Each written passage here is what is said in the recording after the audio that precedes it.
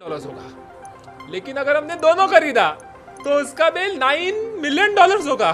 और मेरे पास है टेन मिलियन डॉलर्स खरीद लो।